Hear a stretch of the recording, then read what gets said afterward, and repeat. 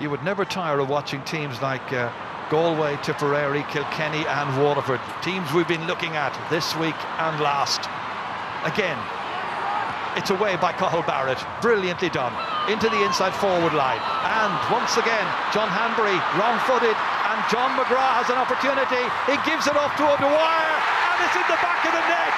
He was brought on to get scores. He's done it. Bubbles O'Dwyer in the 61st minute. Tipperary by one. 2.15 to 119. John, look at this for a finish. That's unbelievable skill.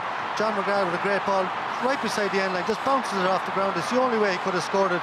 But there's very, very few players in the game that could have finished that from that angle. Absolutely phenomenal.